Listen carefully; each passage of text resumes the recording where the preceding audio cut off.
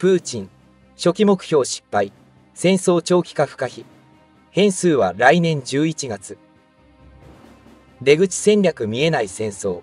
ウクライナ戦1年を語る。24日はロシアがウクライナに侵攻して1年になる日だ。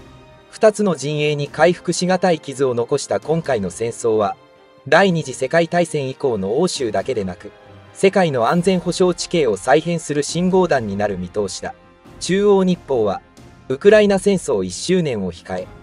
磯部前中ロシア大使とクオン・ギチャン前中ウクライナ大使に、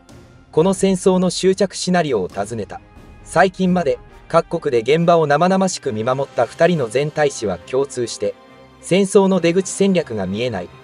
どちらが長く持ちこたえるかのゲームという診断を出したクオン・ギチャン前中ウクライナ大使は2019年5月から2021年6月までウクライナで勤務した。帰任直前までベラルーシでロシア軍の大規模合同軍事訓練が展開されるなど戦運が漂っていたことを生々しく記憶している。クオン前大使はウクライナ戦争1周年を迎え19日から21日に中央日報と進めたインタビューで、韓国戦争、朝鮮戦争の時と同じように、ロシアとウクライナ双方の資源が全て尽きるまで戦争が引き延ばされる可能性がある、と話した。以下は一問一答。ロシアのプーチン大統領は、昨年2月の開戦当時明らかにした戦争、別名、特別軍事作戦の目標をどれくらい達成したと考えるか。ウクライナの脱ナチス化、非軍事化という目標は、結局、新西側のゼレンスキー政権の転覆を意味する。プーチンが序盤に明らかにした戦争目標と比べれば、達成に失敗したと見なければならない。ただ、ウクライナ国内の新ロシア派地域4州を占領しているという側面で見れば、ロシアが一部の目的は達成したと見る余地もある。今回の戦争の結末はどうなるだろうか。すべての戦争は、結局、平和交渉という外交的解決で終わらなければならない。来年であれ3年後であれ、この状態が続くならば平和協定なく、その時交戦が止まった状態を事実上の国境として終了する可能性がある。すべての交渉はギブアンドテイクで一定部分やり取りしなくてはならないが、今は双方の接点が全くない。ロシアは、ウクライナ4地域、マリウポリ、メリトポリ、ヘルソン、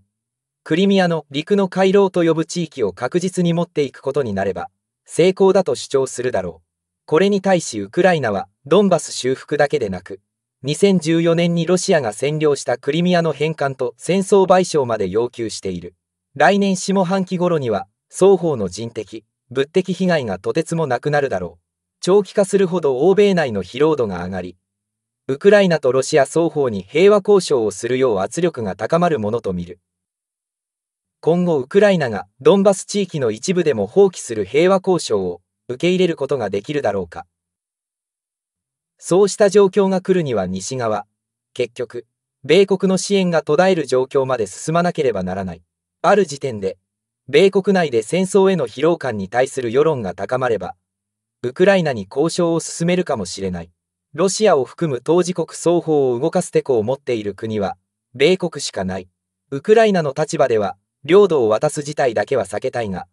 ドンバスの一部を手放す代わりにロシア軍が全員撤退し、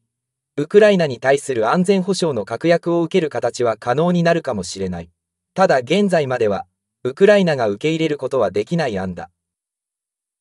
戦況変化などにより、ロシア側がドンバスを諦めることはあるだろうか。2024年3月のロシアの大統領選挙が一つの変数になると考える。ロシアが劇的に敗退することになれば、プーチンが自ら辞任したり、再執権できない可能性を西側は期待している。新たな指導者は戦争を始めた人ではないため、止める名分があるからだ。しかし、もし来年の大統領選挙の頃の戦況が、現在のように、どちらも圧倒できない膠着状態ならば、プーチンは無難に再執権するだろう。彼をめぐる健康不安説、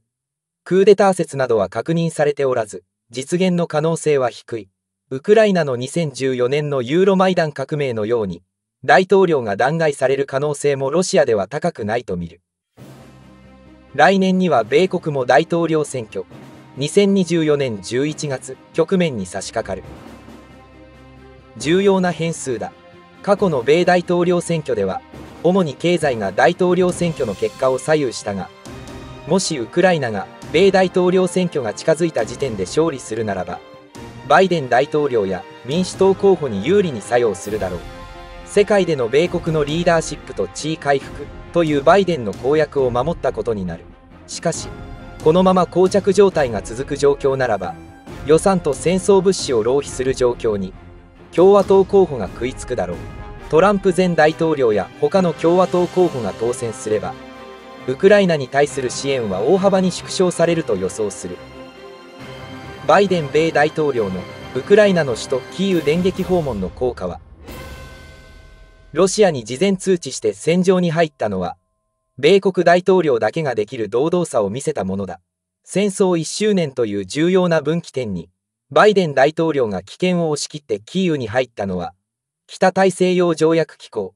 NATO 加盟国を団結させようとする意思を見せたものだ。特に NATO 内でもためらっている、フランスとドイツに積極的に参加してほしいという意思を明らかにしたものと解釈される。これに対し、プーチン大統領は、新戦略兵器削減条約、新スタートの中断を宣言した。戦争が米ロの核軍縮問題に拡散する姿だ。新冷戦の様相が目立つ点は懸念すべき。プーチンの新スタート中断宣言は、中国の王毅共産党中央政治局委員が、モスクワを訪問する直前になされたという点も注目する必要がある。習近平主席の3月のモスクワ訪問を協議する次元とみられる。もし習主席のロシア訪問が実現し、中国がロシアに武器を支援することを決めるならば、今回の戦争は完全な新冷戦局面に転換されるだろう。米国と西側対中ロの構図で戦争が拡大されることになる。もちろん、現時点で中国が西側の経済制裁を招きかねない手は打たないだろうと予想するが、見守らなくてはならない。今回の戦争で、ウクライナが欧州連合、EU に続き、NATO にも加盟することになるだろうか。EU 加盟と NATO 加盟は分離してみなければならない。ロシアもウクライナの EU 加盟は NATO 加盟ほど反発しなかった。経済ブロック次元が大きいためだ。これに対し集団安全保障体制である NATO は違う。2008年の NATO 首脳会議で、ウクライナとジョージアの NATO 加盟が言及されたが、フランスとドイツが反対し入れなかった。戦争で彼らの立場が変わったことはない。NATO 加盟国が別途の協定でウクライナに戦後の安全保障をする間接形態は可能かもしれない。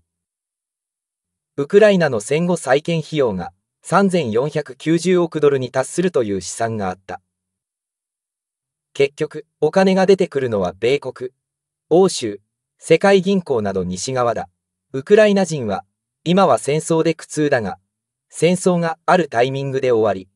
その後10年間、西側の助けを受けて再建すれば、戦争前の経済を上回る規模になりうる。これまでウクライナは国際社会で腐敗指数が高い国に挙げられてきた。戦争を契機に政府が透明化され、デジタル化のような先進化を繰り上げることができる。ロシア国内で対立激化。民間軍事会社ワグネルが国防省を非難。ロシアの民間軍事会社ワグネルを率いるプリゴジン氏と、ウクライナ侵攻で具体的な勝利を得られていない国防省の対立が激しさを増しています。プリゴジン氏は21日、ゲラシモフ参謀総長とショイグ国防相が、ワグネルへ弾薬の供給を禁止し、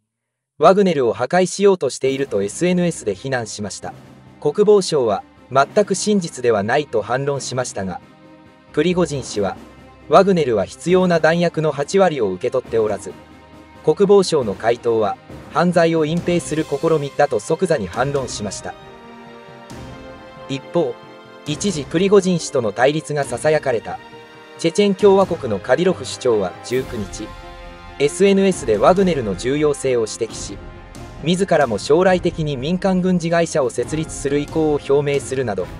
プリゴジン氏を支持する姿勢をアピールしています。独立系メディアは21日のプーチン大統領による年次教書演説の会場にプリゴジン氏とカディロフ氏が出席していなかったと指摘しています。この演説についてプリゴジン氏は SNS で見ている暇がなかったと一蹴し、プーチン氏を恐れない姿勢を見せています。